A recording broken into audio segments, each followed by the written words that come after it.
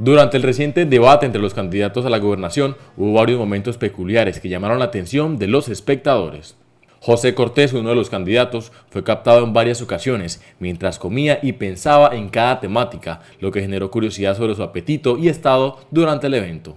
El candidato Ferley optó por disfrutar de maní durante el debate, alimento con el que casi siempre se le ve en apariciones públicas. El uso de un megáfono por parte de Mantilla también llamó la atención de muchos espectadores, destacándolo entre los demás candidatos. Hubo un momento en que los candidatos parecían estar conversando, generando especulaciones de quién estaban hablando o qué posible alianza se avecina. Los asesores de Ferley Sierra también estuvieron presentes y participaron activamente en el debate, lo que no pasó desapercibido por la audiencia.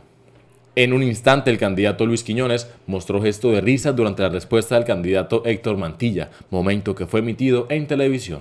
Finalmente, estos candidatos, Mantilla y Quiñones, se despidieron debatiendo sobre las preclusiones de investigaciones y afirmaciones hechas en el transcurso del debate. Estos elementos curiosos agregaron un toque distintivo a este momento del debate, mostrando el lado único de los candidatos en esta importante contienda por la gobernación de Santander.